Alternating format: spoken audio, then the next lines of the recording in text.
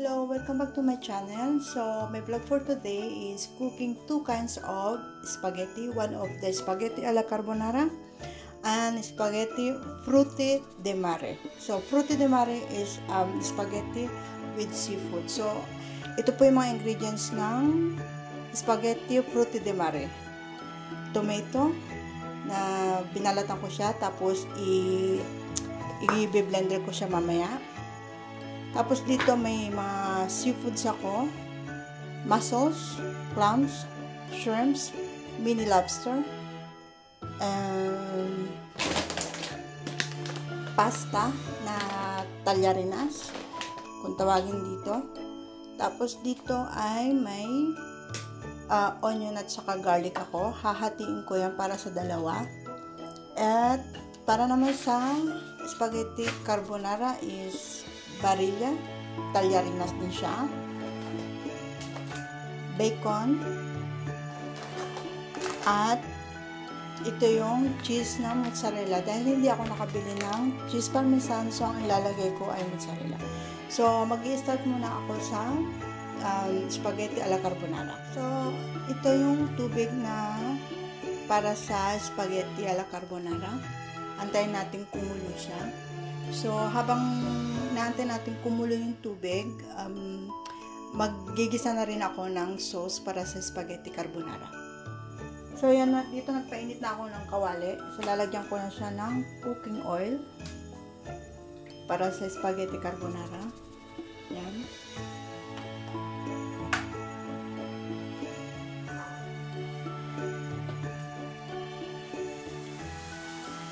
Lalagay ko na rin tong bacon.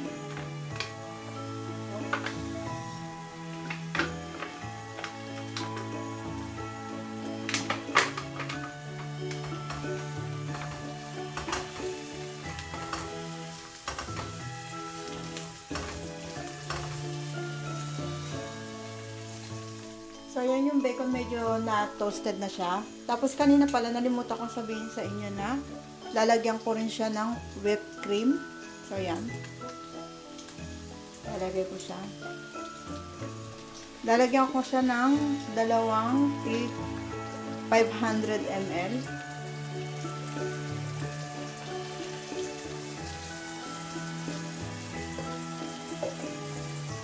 So, dalawa. So, yan. Kumukulo na yung, ano, yung para sa spaghetti carbonara.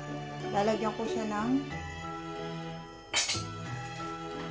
magic sarap para lalong sumarap.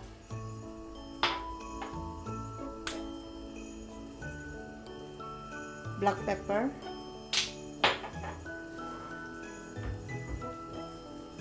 Tsaka konting asin. Dahil na yung bacon maalat na, kaya konting asin lang ang nilagay ko. So ngayon medyo lumalapot na yung salsa o sauce ng carbonara. Lalagyan ko siya ng konting keso. Konti lang siya kasi hindi parmesan yung ginamit ko.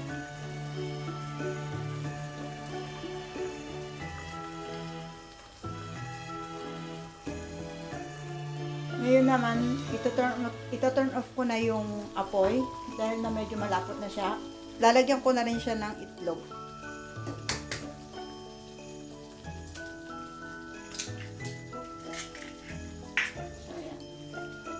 Tapos, haluin lang.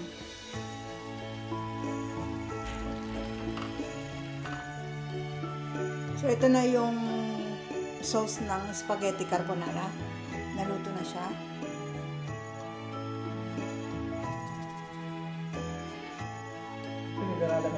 Mag-ito ka po ng... Kaso bawal nang ingat niya?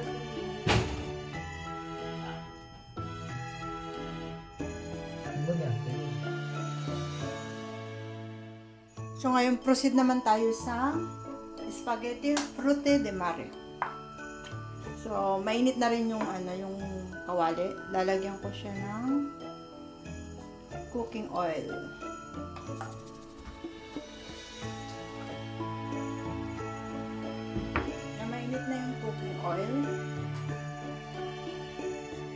Ilalagay ko na tong onion saka garlic.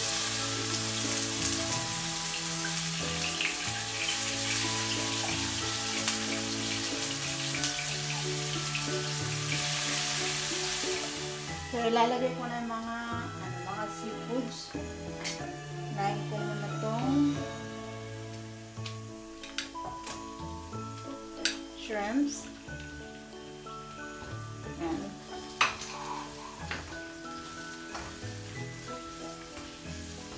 Dapat to, dapat to may ano din, may halong, ano squid. Kaso, hindi ko na, hindi na ako nakabili. Hindi na rin ako bumili.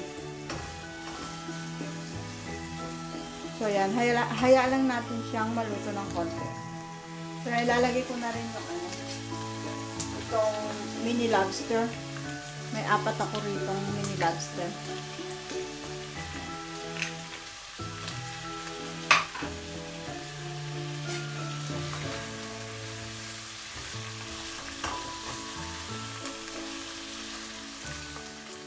Tapos lalagyan ko siya ng konting white wine. Optional lang to ah. Naglagay lang ako pampadagdag lasa. Tapos, hayaan lang natin mag-evaporate yung yung wine. Ilalagay ko na rin ang yung mga masaws at saka yung clams. Ngayon, pagka-evaporate ng white wine, lalagyan ko na siya ng salt. Depende sa inyo kung gaano kadaming asin ang gusto nyo ilagay. Lalagyan ko rin siya ng black pepper.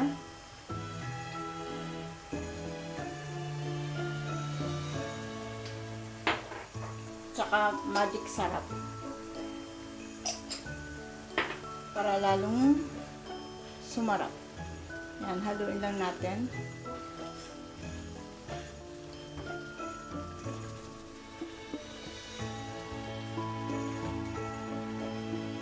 Ngayon, ilalagay ko na yung mussels at saka yung clams.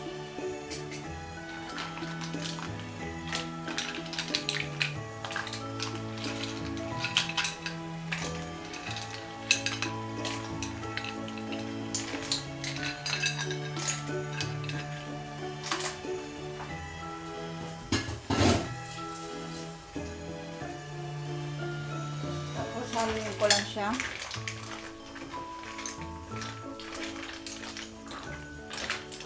Ngayon, tatakpan ko ng kahit na 1 minute to 2 minutes. After 2 minutes, titignan na natin kung luto na yung mga yung halaan at saka yung tahong.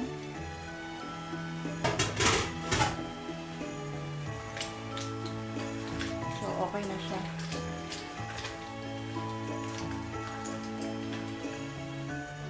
Titikman ko kung tama lang yung asin.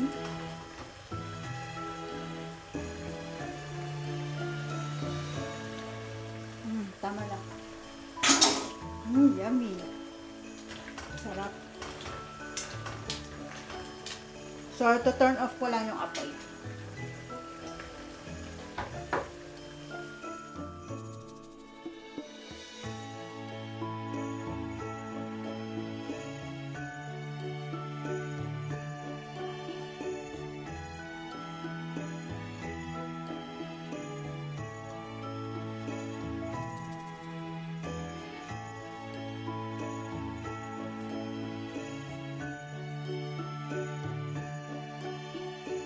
So, ilalagay ko na rin yung mga pasta. Kaya siya talyarinas kasi mga yung pasta flat flat na pasta. So, lalagay ko lahat ang half kilo. Kung sobra man, para bukas na.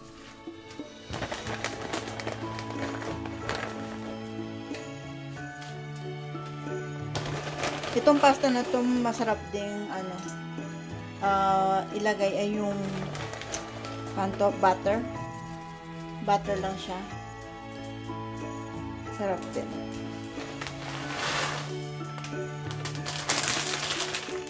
Itong pasta na to lulutuin ko lang siya ng 7 minutes. mas madali siyang lutuin kaysa sa barilya.